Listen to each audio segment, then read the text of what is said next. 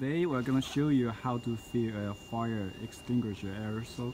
Uh, actually it is using the bag on valve package.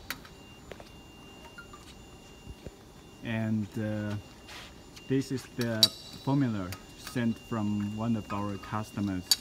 The formula is very special. You can prevent uh, yourself from burning So here we have the small machine for filling the fire extinguisher. So that means first we have to place the bag on valve into the empty bottle. And the, fir the first uh, head here is for under the cap gas filling and crimping. The gas used here is compressed air. Actually, in your case, you can also use nitrogen.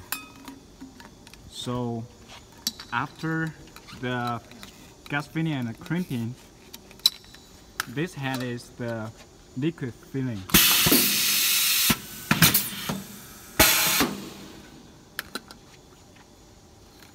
The liquid will be filled into the bag. Okay, here a pedal.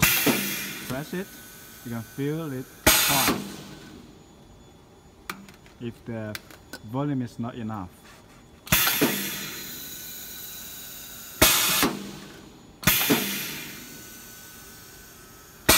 And first, the volume, the dosing volume can be adjusted according to your requirements.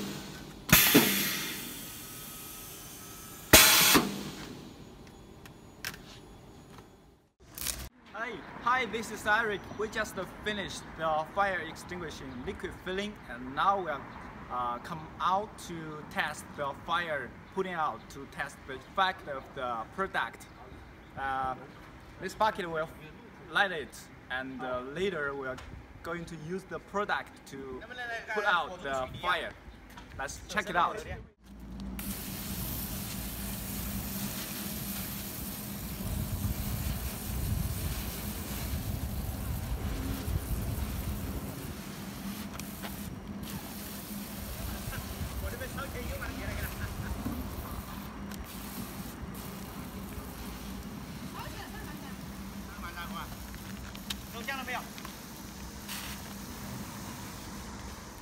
Uh, we just uh, put out the fire in the bucket and it's very good. And now actually uh, uh, the, the fire extinguisher can also prevent your skin from burning. We just uh, spray the liquid onto the arm surface and we use our lighter to test. You see?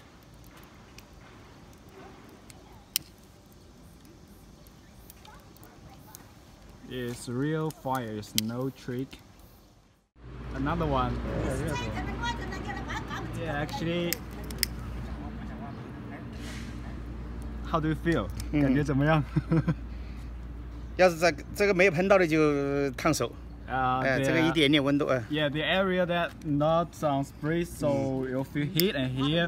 就试验你，你 哦，这一只手嘅。